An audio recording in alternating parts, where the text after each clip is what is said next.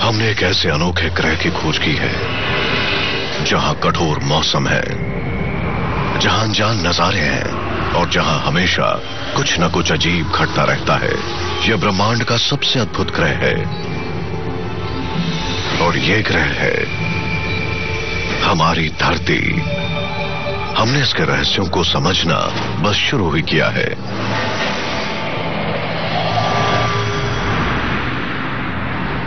जब धरती बनी यहाँ पर हालात नरक जैसे थे। अगर बीते समय में जाना मुमकिन होता तो साढ़े चार अरब पुरानी धरती पर हम बिना स्पेस सूट पहने नहीं जा सकते थे। वो कौन सी भाग्यशाली घटनाएँ थीं जिन्होंने धरती को उसका मौजूदा स्वरूप दिया? अगर डायनासोर्स का खात्मा नहीं हुआ होता तो आज हम यहाँ नहीं होते। आखिर मानव जाति का भविष्य क्या है? ये तो निश्चित है कि भविष्य में बड़े पैमाने पर लुप्त होने की घटना होगी, जैसा कि अतीत में भी हो चुका है। तो आखिर में धरती का क्या होगा? कुछ वैज्ञानिकों के अनुसार आखिर में धरती घूमते घूमते खोलते हुए सूरज से जा टकराएगी और उसमें समा जाएगी। आज देखेंगे पृथ्वी की रचना और उसकी तबाही।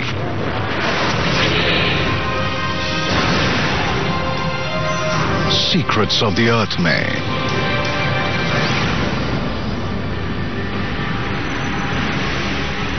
पृथ्वी को अंतरिक्ष से देखने पर यह मानना मुश्किल हो जाता है कि कभी यह ग्रह अस्तित्व में नहीं था और भविष्य में किसी दिन यह अस्तित्व में नहीं रहेगा। ग्रह भी जन्म और मृत्यु से परे नहीं है। तो धरती कैसे खत्म होगी और कैसे उसके असाधारण जन्म के कारण उसने इतने अनोखे ग्रह की शक्ल ली? जहाँ पर जीवन के पनपने के सही हालात बन पाए। कुछ वैज्ञानिक मानते हैं कि ऐसे हालात का बनना ज़रूरी नहीं था। खुशकिस्मती से ऐसी कम से कम छह ज़बरदस्त घटनाएँ घट चुकी हैं, जिन्होंने धरती को एक फलते फूलते ग्रह में बदल दिया। धरती के वर्तमान रूप के पीछे कुछ खास कुदरती तंत्र हैं और कुछ ज़बरदस्त घटनाएँ हैं। अगर वो सब उस सिलसिले में नहीं होता जैसा हुआ तो धरती का रूप बहुत अलग होता। आज जैसा बिल्कुल नहीं होता। एक खास बात है, जो सिर्फ़ पृथ्वी में है। यह सौर मंडल का वो इकलौता ग्रह है, जहाँ जटिल जीवन के पनपने के लिए सही तापमान है। पर यह कैसे मुमकिन हुआ? और हम इस सही स्थान पर कैसे पहुँचे? ये सिलसिला करीब पाँच अरब साल पहले शुरू हुआ। जब गैस और धूल को ग्रेविटी ने एकजुट किया, ये इंटरस्टेलर गैस और धूल बादल की शक्ल में थी। इस बादल का ज़्यादातर अंश बीच में जाकर जमा हो गया, जिससे तारे की बनावट हुई, जिसने बाद में सूरज की शक्ल ली। इस नवजात सूरज ने बादल में मौजूद निन्यानवे दशमलव नौ प्रतिशत गैस और धूल को अपने भीतर समेट लिया, और जो गैस और धूल बची, उसने सपाट होकर एक डिस्क का रूप ले लिया। धूल और चट्टानों की घूमने वाली इस बनावट को प्रोटोप्लानेटरी डिस्क कहते हैं। हो सकता है शुरुआत में घूमने की प्रक्रिया धीमी रही हो, पर जैसे जैसे इस डिस्क का घनापन बढ़ता गया तो कंजर्वेशन ऑफ़ एंगुलर मोमेंटम की वजह से इसकी रफ्तार भी बढ़ती गई। लगातार चक्कर लगाने की वजह से ये डिस्क समतल होने लगी, और फिर आखिर में सभी ग्रह लगभग एक ही सतह पर चक्कर लगाने लगे। इसे पिज्जा बेस की तरह समझ सकते हैं, जिसे बनाते वक्त घुमाया जा रहा हो। जिस एक्सेस पर वो घूमता है, वहाँ वो दबने लगता है और डिस्क का रूप ले लेता है। हमारे सौर मंडल में सूरज के चक्कर लगाने वाले सभी ग्रह इस सार्वजनिक डिस्क में रहकर करते हैं और ये हमारे सौर मंडल का प्लेन है। उनमें से ग्रह एक बहुत ही विशेष क्षेत्र में जन्म लेता है और वो ग्रह है हमारी धरती। और उसके इस क्षेत्र में जन्म लेने की घटना उन छह भाग्यशाली घटनाओं में से पहली वाली है जिनसे भविष्य में ये एक बेहद अनोखा ग्रह बनेगा। धरती सूरज से बिल्कुल सही फासले पर थी जिससे पानी अपने तरल रूप में रह सका। ये बहुत ही अहम बात है। धरती समंदर से ढकी हुई है। इस तरल पानी की वजह से ही यहाँ जीवन संभव हो पाया। जिस क्षेत्र में धरती का जन्म हुआ उसे अक्सर गोल्डी लॉक्स जोन कहा जाता है। इस क्षेत्र में होने के कारण धरती ना ज़्यादा गर्म है और ना ज़्यादा ठंडी, जैसा कि गोल्डी लॉक्स और तीन भालों वाली कहानी में है। धरती पर सही तापमान होने की वजह से ही पानी तरल रूप में रह पाता है, जिससे मेटाबॉलिज्म संभव हो पाता है। वीनस रहने लायक क्षेत्र के भीतरी किनारे पर है, पर वहाँ सूरज का प्रकाश इतना तेज है कि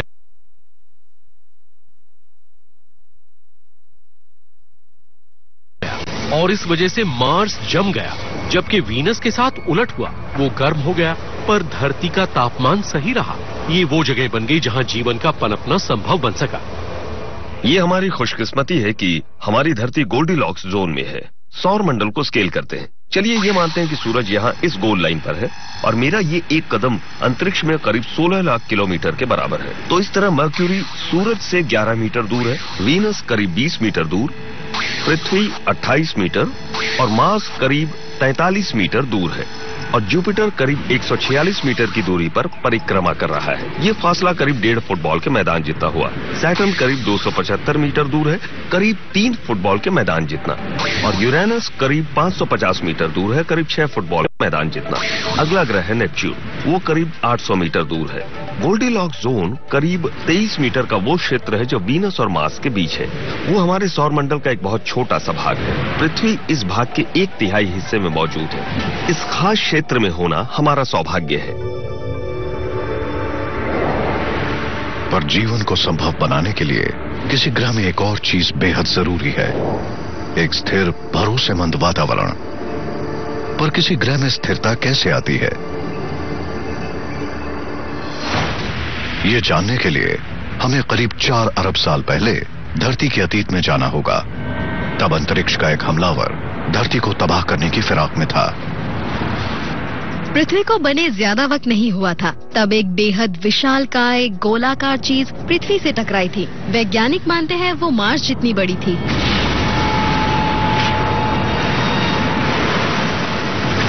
पर वास्तव में ये तबाही न होकर पृथ्वी पर होने वाली दूसरी भाग्यशाली घटना थी।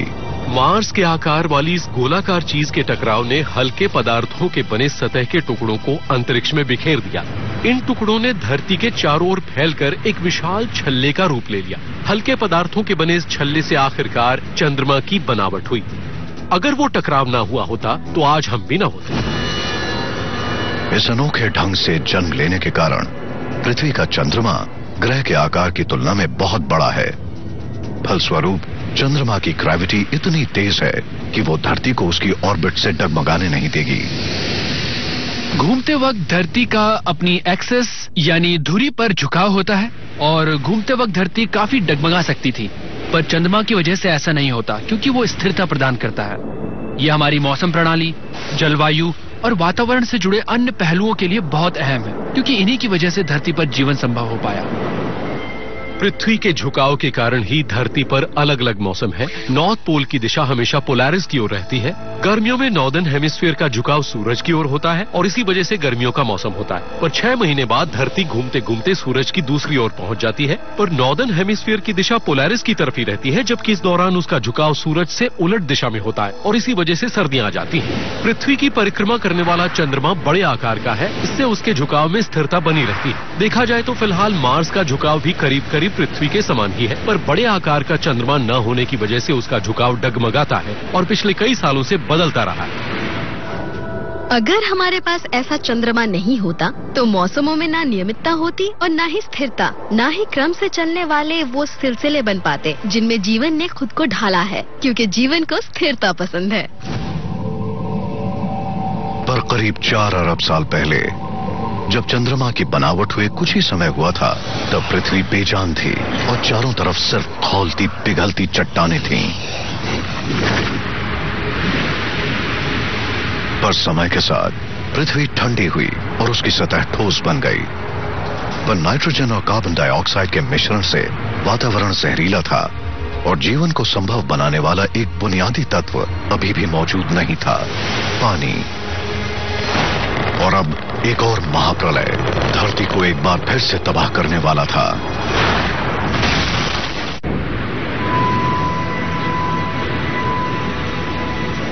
ग्रहों को देखकर लगता है कि वो जीवन और मृत्यु से परे हैं, पर वो भी हमारी तरह जन्म लेते हैं और खत्म होते हैं। लगभग चार अरब साल पहले एक विनाशकारी टकराव से पृथ्वी को एक नया जन्म मिला। इस टकराव ने पृथ्वी को तबाह करने की बजाय चंद्रमा की बनावट की। ये बनावट आगे चलकर मौसमों में स्थिरता पैदा करने वाली थी। पानी के बिना जीवन संभव नहीं है, पर आखिर धरती को पानी कहाँ से मिलेगा? धरती की बनावट के करीब 50 करोड़ साल बाद हमारे पर मीटियोर की बौछार सी हो गई। ये मीटियोर सोलर सिस्टम के बाहर से आए थे। इस पीरियड को लेट हैवी बम्बार्डमेंट कहते हैं। करोड़ों साल तक धरती पर कहर लगातार जारी रहा। एस्टेरॉयड और कॉमेट की ज़बरदस्त बमबारी चलती रही। पर इस ज़बरदस्त बमबारी के आखिरी दौर ने पृथ्वी पर होने वाली तीसरी भाग्यशाली घटना को मुमकिन बनाया, क्योंकि कॉमेट और एस्टेरॉयड अपने साथ पानी भी लाते हैं।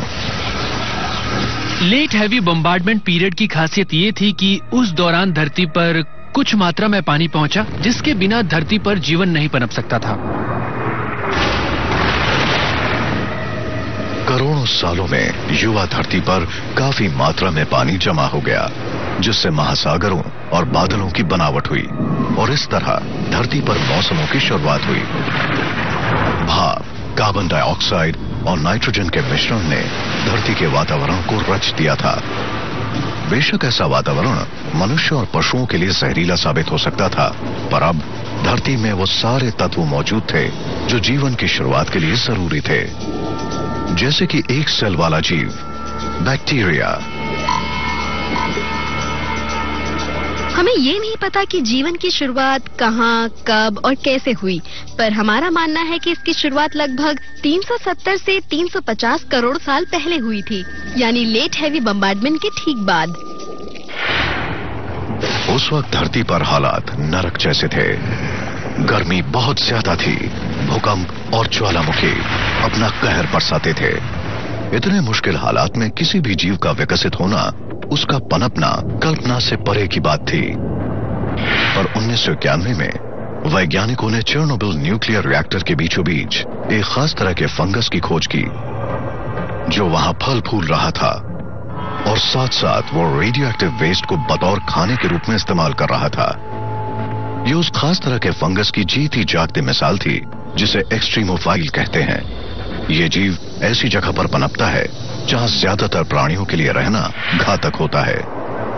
अस्सी के दशक से वैज्ञानिक ऐसे जीवों की निरंतर खोज कर रहे हैं, जो येलोस्टोन नेशनल पार्क के गीजस में पनप रहे थे और गहरे समंदर के हाइड्रोथर्मल वेंट में विकसित हो रहे थे।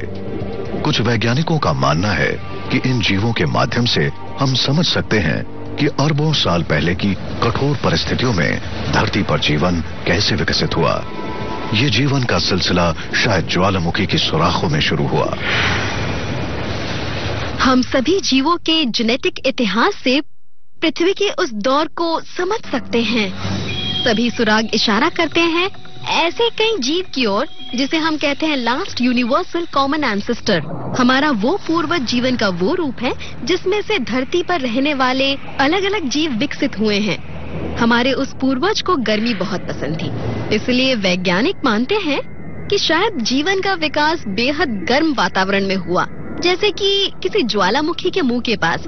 ऐसा किसी गहराई वाले तालाब में होना मुश्किल है, क्योंकि वहाँ वातावरण इतना गर्म नहीं होता। पर धरती को आज के शक्ल में आने के लिए ऐसे हालात चाहिए थे जहाँ जटिल जीवन पनप सके।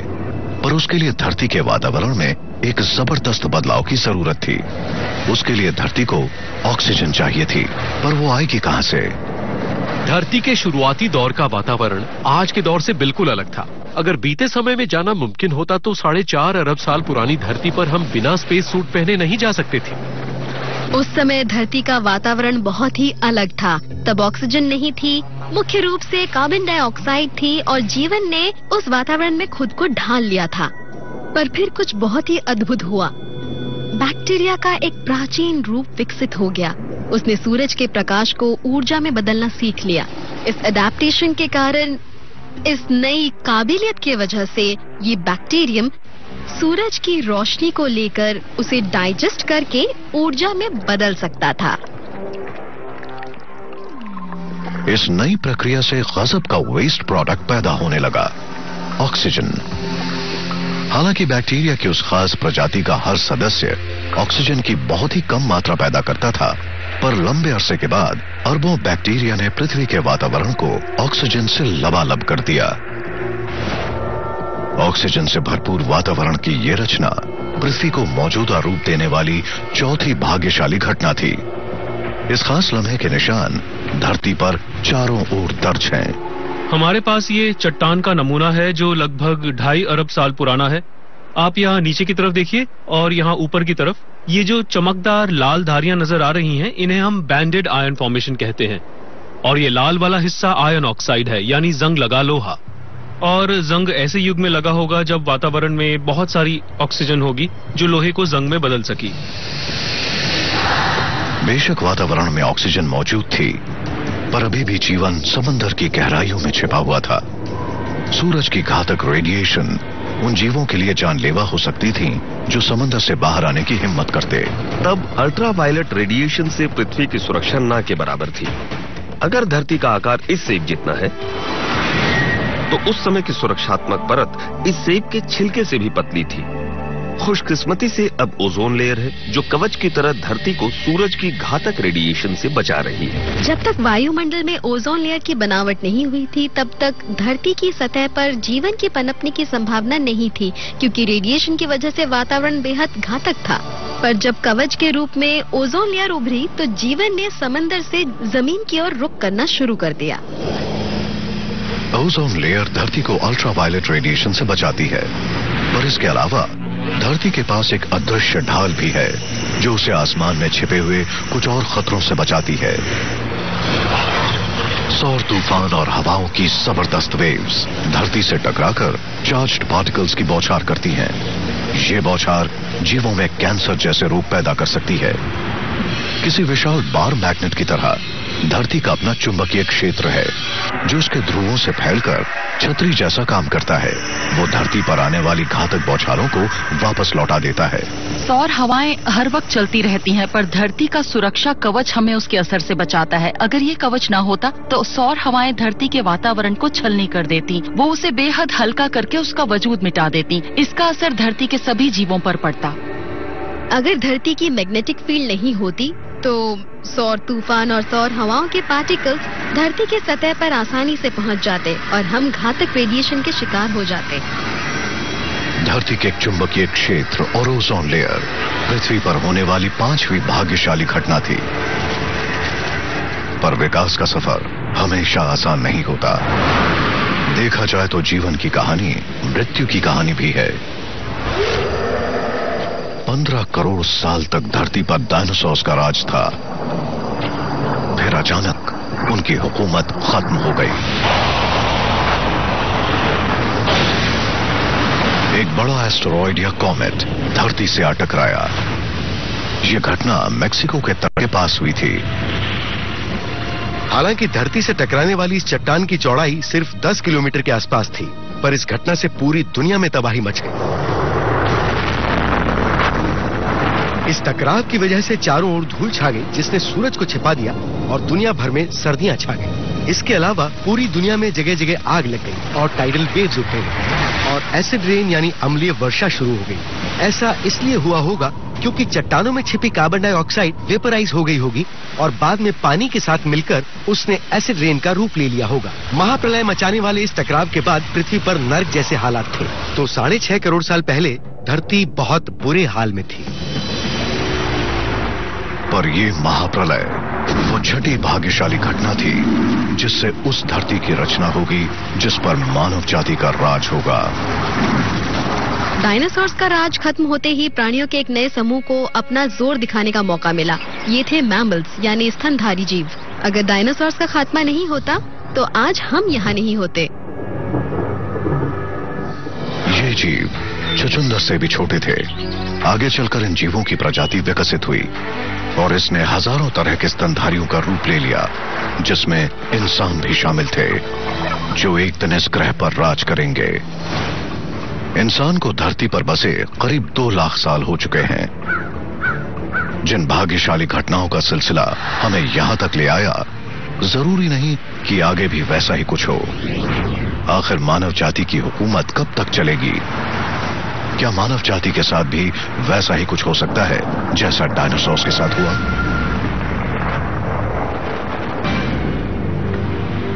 इंसान बाकी प्रजातियों से अलग है। वो सिर्फ़ ऐसे ग्रह पर विकसित हो सकता है, जहाँ पर हालात एकदम सही हों, जहाँ का तापमान पानी को तरल बनाए रखे, जहाँ एक बड़ा चंद्रमा ग्रह की ऑर्बिट को स्थिर रखे, और जहाँ का सुरक्षा कवच उसे घातक रेडिएशन से बचाए रखे। पर जिन हालात की वजह से मानव जाति पनप सकी, क्या वो हमेशा ऐसे ही बने रहेंगे? ऐसे बहुत सारे तरीके हैं जिससे हम खुद को तबाह कर सकते हैं। ये परमाणु संबंधी तबाही हो सकती है, या फिर ये कोई जैविक या रासायनिक युद्ध हो सकता है, या फिर कोई ऐसा फ्लू या प्लेग हो सकता है जिससे धरती पर फैलने से रोकना शायद इतना आसान ना हो, जिसके खिलाफ मानव जाति कोई ठोस कदम नहीं उठा सकती। अगर मानव जाति ने अपने अस्तित्व के लिए कोई बड़ा खतरा पैदा किया है तो वो है ज़रूरत से ज़्यादा आबादी। ऐसा ही चलता रहा तो वो दिन दूर नहीं जब धरती पर मानव जाति ज़िंदा ही नहीं रह पाएगी। अगर इंसान खुद अपने पैरों पर कुल्हाड़ी ना भी मारे, तब भी उसका विनाश निश्चित है। ऐसी कई कुदरती घटनाएँ मुमकिन हैं, जिनके कारण ज़्यादातर प्रजातियाँ लुप्त हो सकती हैं। मिसाल के तौर पर, ज़बरदस्त ज्वालामुखी फूटने से ऐसा संभव है कि सूरज की रोशनी धरती के वातावरण में घुस ना पाए, जिससे पूरी धरती का तापमान बेहद कम हो जाए और हम आइस एज में पहुँच जाए। हमारी धरती पर एस्टेरॉइड या कॉमेट से टकराव होने का खतरा हमेशा बना रहता है। अगर ऐसा हुआ तो जीवों की ज़्यादातर प्रजातियाँ मिट जाएँगी। और अगर इस एस्टेरॉइड या कॉमेट की चौड़ाई 16 किलोमीटर या उससे ज़्यादा हुई तो धरती पर तबाही का बहुत ज़बरदस्त सिलसिला शुरू होगा। बहुत सारी धूल हमारे वायुमंडल में चारों ओर फैल जाएगी और सूरज की रोशनी धरती तक नहीं पहुंचेगी, जिससे पेड़ पौधे खत्म हो जाएँगे। पहले शाकाहारी जीव दम तोड़ देंगे, फिर मांसाहारी जीव खत्म होंगे और बाद में ज़्यादातर जीवन भी। इसके अलावा इस टकराव से पैदा होने वाली कार्बन डाइऑक्साइड पानी में घुलकर वापस धरती पर एसिड रेन के रूप में बरसेगी। इस एसिड रेन से खाद्य श्रृंखला या फ़ूड चेन के सबसे निचले स्तर पर रहने वाली सामग्री, जैसे फ़सल और कुछ समुद्री जीव खत्म हो जाएँगे और आखिर में धरती से लगभग 75 प्रतिशत जीवों की आबादी खत्म हो जाएगी। धूल और राख के बादल बनेंगे और कुछ समय बाद खत्म हो जाएँगे, पर उनके असर से मौसम के पैटर्न कई दशकों के लिए बिगड़ जाएँगे। जुलाई उन्नीस सौ चौरानवे में एक विशाल कॉमेट का टकराव जुपिटर से हुआ।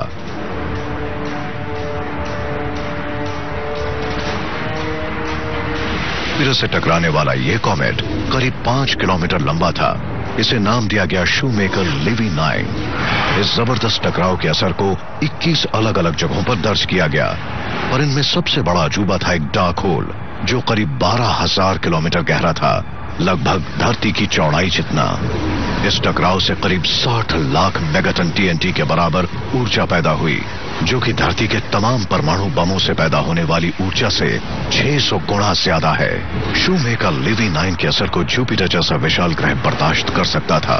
पर अगर इतना बड़ा कॉमेट हमारे ग्रह से टकराता तो धरती पर अधिकतर जीवन तबाह हो जाता। किसी बड़े एस्ट्रॉइड या कॉमेट के धरती से फिर से टकराने की पूरी पूरी संभावना है। ऐसा टकराव फिर ज़रूर होगा। सवाल तो ये है कि ये कब होगा और हम इसे रोकने के लिए कुछ कर सकते हैं या नहीं?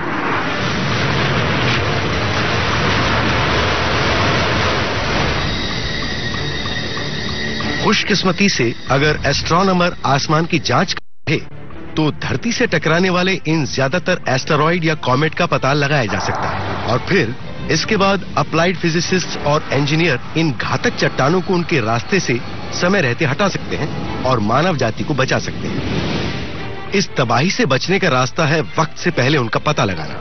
अगर हमें दशकों पहले इस खतरे की चेतावनी मिल जाए तो हम उसके खिलाफ एक ठोस योजना सकते हैं ताकि हम उस घातक चट्टान के रास्ते को हल्का सा बदल सकें, जिससे वो हम तक पहुँचने में कामयाब ना हो पाए। अगर सिर्फ़ कुछ हफ्तों या महीनों या सिर्फ़ साल भर पहले चेतावनी मिले तो हम कुछ नहीं कर पाएँगे। ये चेतावनी हमें देश को पहले मिलनी चाहिए।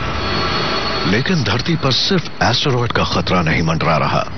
कुछ और भी खतरे हैं जो धरती से जीवन का नामो निशान मिटा सकते हैं। उनमें से खतरा से हो सकता है। ये मानना मुश्किल है पर असल में अंतरिक्ष में भी मौसम होते हैं। इसे हम स्पेस वेदर कहते हैं। ये वहाँ से शुरू होता है जहाँ धरती के मौसम की हदें खत्म होती हैं। ज़्यादातर जिस स्पेस वेदर की हम चिंता करते हैं, वो सूरज से आने वाले सौर तूफ़ान और सोलार फ्लेयर्स हैं। हालाँकि पृथ्वी का चुंबकीय क्षेत्र एक सुरक्षा कवच की तरह काम करता है, पर बड़ा सौर तूफ़ान इस कवच को भेदने की ताकत रखता है। अगर ऐसा कोई तूफ़ान धरती की ओर रुख करता है तो उससे धरती पर बड़े पैमाने पर बर्बादी होगी। यानी कि उसके आने से चारों तरफ़ बिजली का प्रवाह होगा जिससे हमारे ट्रांसफॉर्मर्स शॉर्ट सर्किट हो जाएँगे और हमारे पावर ग्रिड खाक हो जाएँगे। बिना बिजली के मानव सभ्यता का बुनियादी ढांचा चरमरा जाएगा और चारों ओर महामारी अकाल और सामाजिक अराजकता फैल जाएगी। इससे मानव जाति का सफाया तो नहीं होगा पर इससे दुनिया में भारी तबाही ज़रूर मचेगी। पर खतरे सूरज तक सीमित नहीं है। उसके परे भी है। कुदरत के कहर का एक ऐसा रूप है सुपरनोवा। ये किसी तारे के भयंकर विस्फोट से निकलने वाली ज़बरदस्त ऊर्जा है। पृथ्वी पर जीवन के इतिहास में बड़े पैमाने पर लुप्त होने की घटना के पीछे क्या कोई सुपरनोवा था? और जवाब यह है कि ऐसा होने के 50-50 चांसेस हैं। अगर 10 से 20 लाइट ईयर के फासले पर कोई तारा फटता है तो उसकी वजह से धरती पर बड़े पैमाने पर जीवन तबाह हो जाएगा, क्योंकि ऐसे विस्फोट से ओजोन लेयर बात हो जाएगी और सूरज से निकलने वाली अल्ट्रावायलेट रेडिएशन से धरती पर मौत का तांडव मच जाएगा। तो 10 लाइट ईयर के फासले पर तारे का फटना यानी बुरी खबर। पिछले कुछ सालों में कुछ वैज्ञानिकों ने अनुमान लगाया है कि धरती को इससे भी बड़ा खतरा है गैमा रे बर्स्ट से। गैमा रे बर्स्ट यानी तेज ऊर्जा वाले पार्टिकल्स के बेहद ज़बरदस्त एमिशन जो तब होते हैं जब कोई विशाल तारा फटकर ब्लैक होल का रूप ले लेता है। पूरे ब्रह्मांड में ये ऊर्जा के सबसे ज़बरदस्त विस्फोट हैं। ये किसी विशाल सुपरनोवा से हज़ारों गुणा बड़े होते हैं। गामा रे बर्स्ट किसी भी तारे का बहुत ही ज़बरदस्त विस्फोट है। इससे पैदा होने वाली ऊर्जा विपरीत दिशा में जाने वाले दो तंग बीमों ब्रह्मांड में प्रसारित हो जाती है। तो अगर धरती इनमें से किसी भी बीम के रास्ते में आ जाती है तो बड़े पैमाने पर जीवन तबाह हो सकता है। चाहे गामा रे बर्स्ट हज़ारों लाइट ईयर दूर ही क्यों ना हो। इस तरह से गामा रे बर्स्ट किसी आम तारे के फटने से बहुत ज़्यादा खतरनाक है, क्योंकि उस तारे को नुकसान पहुँचाने के लिए 10 से 20 लाइट ईयर के फासले पर होना चाहिए, जबकि गामा रे बर्स्ट हज़ारों लाइट ईयर दूर होने के बावजूद कहर ढा सकता है। अगर धरती गामा रे बर्स्ट के किसी बीम के रास्ते में आ जाती है तो उसमें मौजूद हाई एनर्जी पार्टिकल्स यानी गामा रेज हमारे वायुमंडल के ओजोन लेयर को मिटा देंगे, जिससे सूरज से आने वाला रेडिएशन हमारे वायुमंडल में दाखिल हो जाएगा और धरती पर जीवन तबाह कर देगा। गैमा रे बर्स्ट का धरती के जीवन पर आखिर क्या असर होगा? इसकी मिसाल हमें पृथ्वी के प्राचीन इतिहास में मिल सकती है। कुछ वैज्ञानिकों का मानना है कि धरती में विशाल पैमाने पर लुप्त होने की घटनाओं में सबसे बड़ी घटना के पीछे गैमा रे बर्स्ट थी। इस घटना की वजह से वो गामा रे बर्स्ट हो सकता है जो धरती से करीब 6000 लाइट ईयर के फासले पर हुआ था। चवालीस करोड़ साल पहले होने वाली इस घटना को ऑर्डोविशन सिल्यूरियन एक्सटिंक्शन कहते हैं। उस समय धरती पर जीवन समुद्र और महासागरों तक सीमित था। तब मॉलस्क शेलफिश कोरल और ट्राइलोबाइट जैसे जीवों का बोलबाला था। सिर्फ़ 10 सेकंड तक चलने वाली गैमा रे बर्स्ट से धरती की 50 फ़ीसदी ओजोन लेयर तबाह हो गई, जिसके कारण सतह पर मौजूद सभी पेड़ पौधे और जीव जानलेवा अल्ट्रावायलेट रेडिएशन के शिकार हुए। वैज्ञानिकों का अनुमान है कि इस घटना की वजह से जीवन की सभी प्रजातियों में से 60 फ़ीसदी से ज़्यादा का नामो निशान मिट गया होगा। अगर आज के दौर में ऐसी घटना होती है तो दुनिया भर में तबाही मच जाएगी। जो भी गैमा रेस के सीधे संपर्क में आएगा, उसे खतरनाक अल्ट्रावायलेट रेडिएशन के दुष्परिणाम भोगने पड़ेंगे। धरती की ओजोन लेयर के तबाह होने से दुनिया की फ़ूड चेन उसकी खाद्य श्रृंखला नष्ट हो जाएगी। और आखिरकार गैमा रे बर्स के कारण वातावरण में ऐसे केमिकल रिएक्शंस होंगे, जिससे दुनिया भर में परमाणु सर्दी छा जाएगी, फ़सलें बर्बाद हो जाएँगी और भूखमरी फैल जाएगी।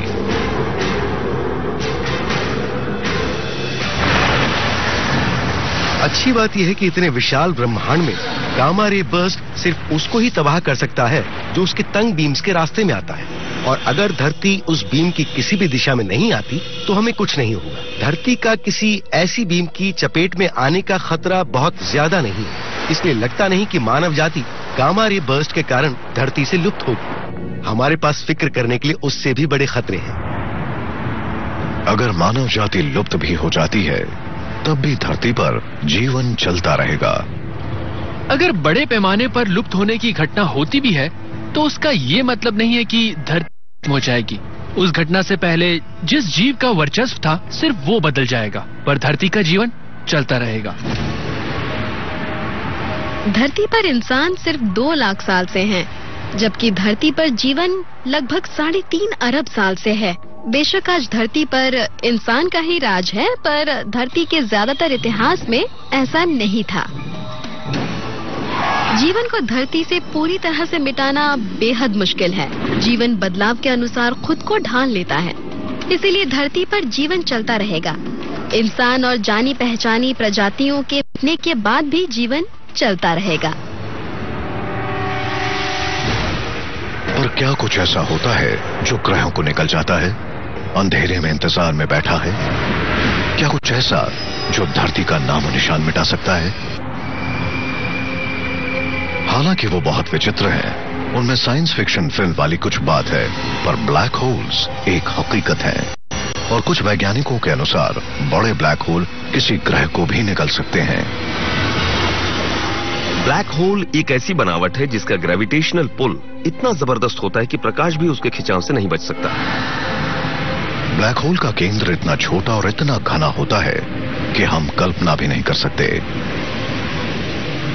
कोई ग्रह हो या फिर कोई और चीज़, जो भी उसके पास जाता है, ब्लैक होल उसे अपने अंदर खींच लेता है और वो उसमें गायब हो जाता है। अगर कहीं से कोई ब्लैक होल हमारे सौर मंडल में प्रवेश कर जाए तो ग्रेविटी के उसके जबर धरती पर तबाही मच जाएगी। भयानक भूकंप आने लगेंगे और बड़े बड़े ज्वालामुखी फूटने लगेंगे। जब कोई ग्रह किसी ब्लैक होल में दाखिल होता है तो वो ग्रह नूडल्स की तरह लंबाई में खिंचने लगता है। फिर उसके बेहद लंबे और पतले रेशे बन जाते हैं, जो अंत में बेहद छोटे पॉइंट में सिकुड़ जाते हैं। तो अगर हमारी धरती या सूरज को कोई ब्लैक होल निगल लेता है तो वो सच में बहुत बुरी खबर होगी। पर ब्लैक होल्स बहुत बहुत छोटे होते हैं। वो बहुत दुर्लभ होते हैं। तो इसलिए हमारे सौर मंडल में किसी ब्लैक होल के आने की संभावना बहुत कम है। एक और खतरा है जो धरती को तबाह कर सकता है। वैज्ञानिकों ने उसे अजीब नाम दिया है रोग प्लैनेट अंतरिक्ष में भटकते इन ग्रहों की खोज 90 के दशक में हुई जब एस्ट्रोनॉमर्स को उनके होने के पुख्ता सबूत मिलने शुरू हुए। रोग प्लैनेट वो खास तरह का ग्रह है जो किसी दूसरे प्लेनेटरी सिस्टम से इजेक्ट होकर आया है। शायद ऐसे किसी प्लेनेटरी सिस्टम से जो अभी बन रहा है। वहाँ के ग्रहों के ऑर्बिट ठीक से तय भी नहीं हुए। इस वजह से ग्रह टकरा जाते हैं और ग्रेविटेशनल स्लिंग शॉट इफ़ेक्ट की वजह से वो बाहर धकेल दिए जाते हैं। रोग प्लैनेट यतीमों की तरह अंतरिक्ष में अकेले भटकते रहते हैं। वो किसी तारे से नहीं बंधे हैं। ऐसा माना जाता है कि कुछ और तारे हैं जिनके इर्द गिर्द ग्रह चक्कर काट रहे हैं। और कुछ ऐसे भी ग्रह हैं जो किसी तारे से नहीं बंधे हैं। शायद वो अपनी ऑर्बिट से छूट निकले थे और अब वो बिना किसी रोक टोक के अंतरिक्ष में अकेले ही घूम रहे हैं। हमें लगता है हमारी मिल्की वे गैलेक्सी में चारों ओर अरबों रोग प्लैनेट्स घूम रहे हैं। कुछ वैज्ञानिकों का अनुमान है कि इनमें से एक रोग प्लैनेट हमारे सौर मंडल में घूमता हुआ पहुँच सकता है और उसका पृथ्वी से टकराव संभव है। और अगर ऐसा होता है तो उससे हमारी धरती पूरी तरह से खत्म हो जाएगी। अगर कोई रोग प्लेनेट यहाँ आ है तो वो ग्रहों को ऑर्बिट से भटका सकता है, वो पृथ्वी को सूरज में ढकेल सकता है, या फिर वो उसे सौर मंडल से भी बाहर कर सकता है।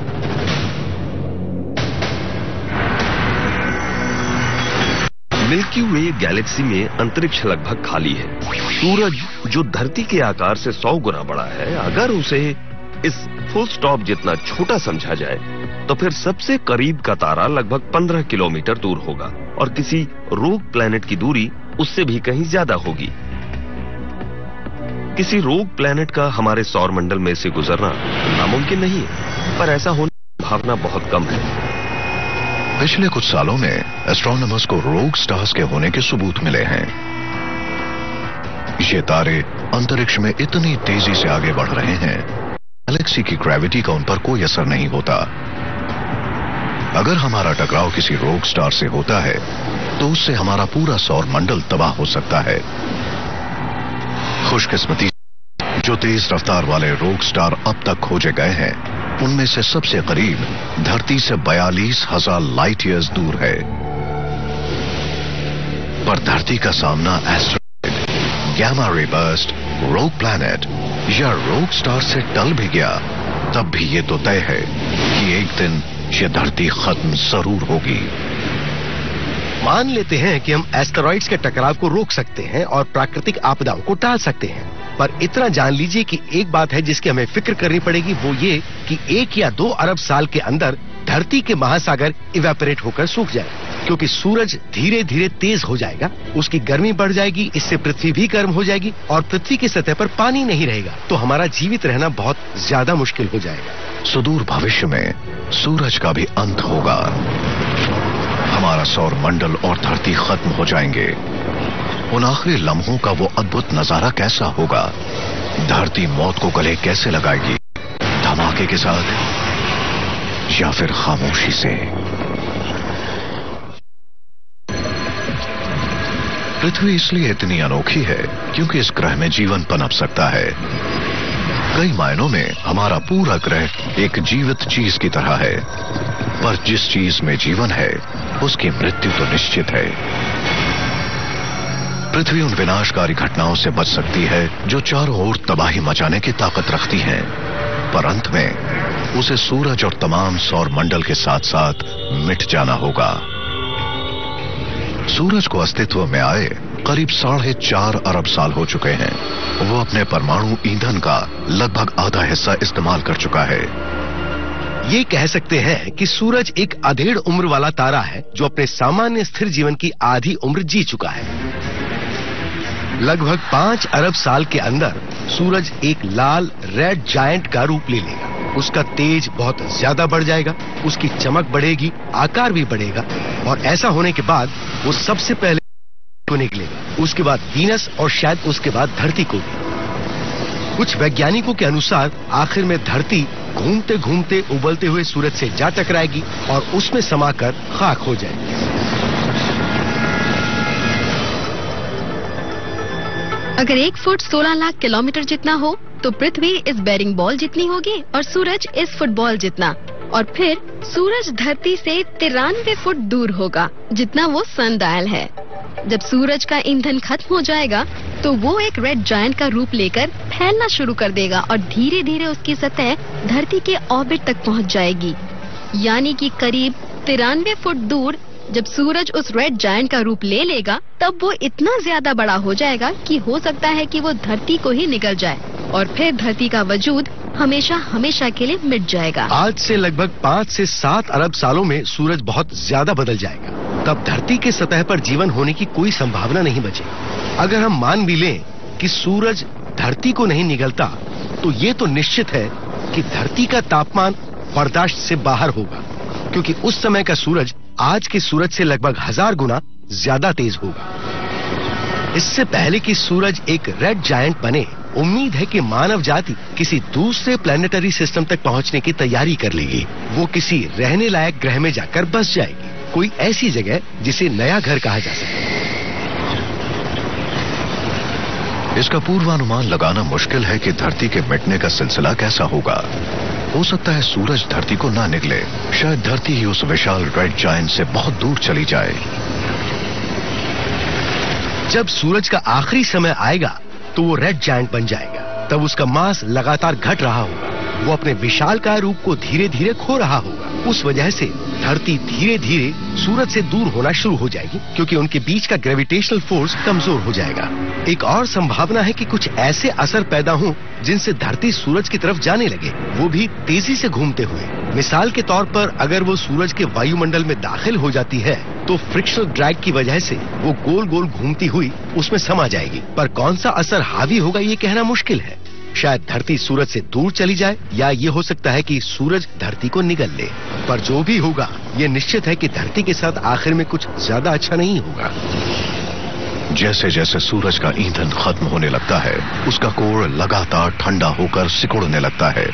तब उसका डायमीटर कुछ हज़ार किलोमीटर का ही रह जाता है। अब वो व्हाइट ड्वार्फ बन गया है। व्हाइट ड्वार्फ बन जाने के बाद सूरज का आकार बहुत ही छोटा होगा लगभग पृथ्वी जितना। पर तुलना में उसका मास बहुत ही ज़्यादा होगा। धरती से लगभग दो लाख गुना ज़्यादा। मतलब व्हाइट ड्वार्फ बहुत ज़्यादा घना होगा। उसके जरा से टुकड़े का वज़न कई टन होगा।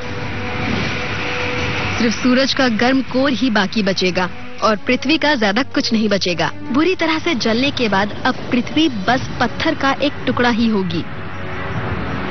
और इस तरह आखिर में धरती उन सभी भाग्यशाली घटनाओं का इस्तेमाल कर चुकी होगी। हालाँकि धरती का भविष्य अंधकार में लग रहा हो, पर ऐसा होने में अभी बहुत बहुत देर है। धरती का अस्तित्व अरबों सालों से बना हुआ है। और उसका भविष्य आने वाले अरबों सालों तक बना रहेगा। हमें धरती पर आए पाँच लाख साल भी नहीं हुए। इस ग्रह के लंबे इतिहास में हमारी मौजूदगी बस पलक झपकने जितनी देर की है। तो ये ध्यान रखते हुए ही हमें सोचना चाहिए कि धरती के लिए हमारा फ़र्ज़ क्या है, हम इससे क्या सीख सकते हैं, इसके लिए क्या कर सकते हैं।